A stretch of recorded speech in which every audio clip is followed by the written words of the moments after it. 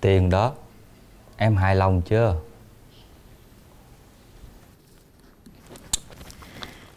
Em đâu có phải giận anh vì cái số tiền đó đâu. Mà cái quan trọng ở đây á, Là có chuyện gì xảy ra, Anh phải biết bàn bạc với em, Nói với em một tiếng chứ. Mà anh nè, Từ nay về sau á, Vợ chồng mình sống tiết kiệm một chút đi, Bớt được cái gì bớt, Tập trung lo làm, lo ăn.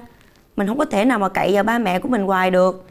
Em là từ nay không có mở miệng ra xin tiền ba mẹ của em nữa đâu. Trước tiên Anh xin lỗi về cái chuyện hợp đồng đó. Còn bây giờ Ba mẹ em không lo được Nhưng đã có ba mẹ của anh. Em cứ việc sống thoải mái. Không phải như vậy. Em đã nói với anh rồi Là từ bây giờ Vợ chồng mình phải sống tiết kiệm lại Lo làm, lo ăn Lo cho tương lai Lo cho cái tiệm giặt này. Và con của chúng ta sau này nữa. Em nói vậy là Có nghĩa là hai vợ chồng mình đã không còn mâu thuẫn gì cả. Em đã không còn giận anh đúng không? Em không có giận Mà em muốn vợ chồng mình phải thay đổi. Ủa là hết giận anh rồi đúng không? Thiệt không? Anh là nói chuyện mà thân tình hai vợ chồng mình hả Trời ơi. Cái mặt hết giận nhìn dễ thương dễ sợ Cách nói chuyện nghe đã lỗ tai Anh biết rồi. Từ giờ hai vợ chồng mình sẽ uh, đoàn kết yêu thương rồi Sống tiết kiệm. Trời làm nó căng thẳng quá. Thôi anh đi toilet cái. Trời ơi.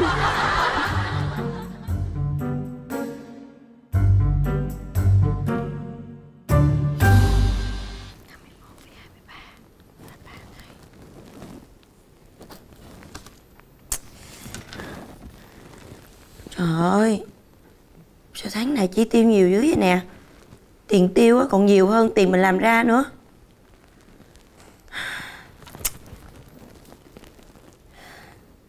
Hồi đó tới giờ Nếu như mà không có tiền của ba mẹ phụ giúp Không biết hai đứa sống kiểu gì luôn á.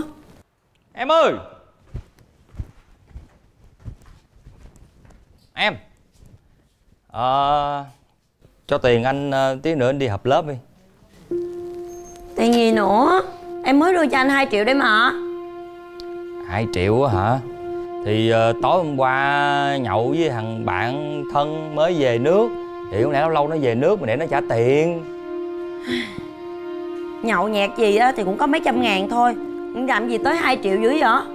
Mới trưa hôm qua đi đám cưới nhỏ bạn thân Đi hết 500 ngàn. Ở trong cái đám cưới đó đó Ngồi chung bàn với bạn thân nữa Rồi nó nói là nhà nó tân gia Nó rủ qua nhà chơi Mình qua nhà nó chơi Nhà mới mà không lẽ không mua quà qua. Rồi đi qua nhậu nhẹt Rồi tiền xe ôm xe cộ Nhậu nhẹt đâu đi xe được. Phải tốn tiền xe ôm chứ. Em nghĩ coi giờ 2 triệu đó còn không? Em sợ cái miệng anh thiệt luôn á. Cái này là cái gì? Anh đổ tiền vô anh mua mấy cái đồ chơi game phải không? Đâu có. Người ta mới gửi tới sáng nay nè. Mới gửi tới sáng nay hả? Cái này á là anh ờ, trúng giải Bây giờ nó mới gửi tới á Thiệt. Thiệt tình mất uy tín. Thôi đừng có xạo em nữa. Tiền bao nhiêu em đưa cho anh anh đổ hết vô game à? Thì game gì đâu Cái này nó trúng giải mà Cho tiền anh lát nữa anh đi. Hai triệu Triệu rưỡi nữa đi. Tờ cuối cùng của nhà mình đó Anh cứ xài kiểu này Vợ chồng mình ăn cám nó biết không?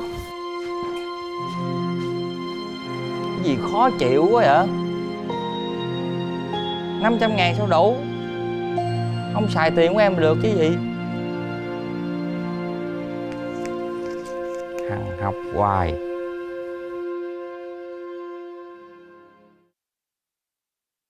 Alo Mẹ hả? Con nè. Con nhớ mẹ quá à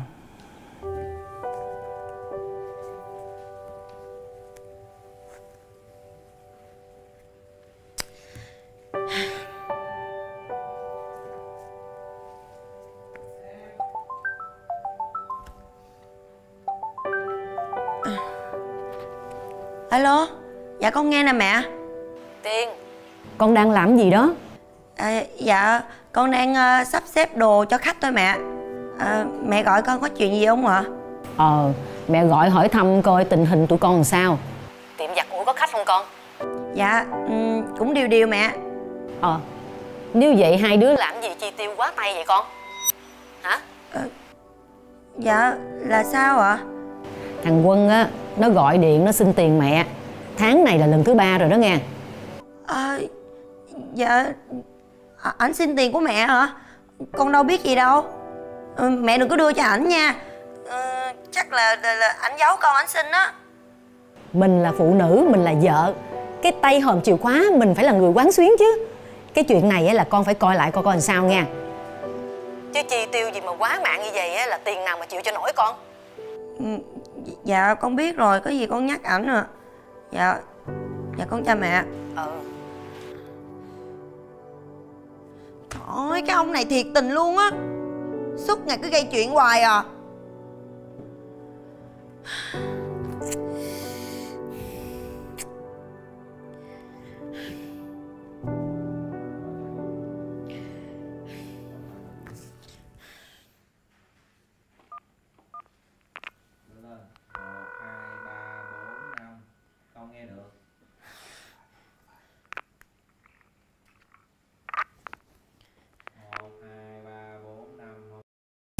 phía sau cơn mưa cầu vồng sẽ tới. Ngày tháng trôi đi nhanh, muộn phiền ta sẽ rồi vơi.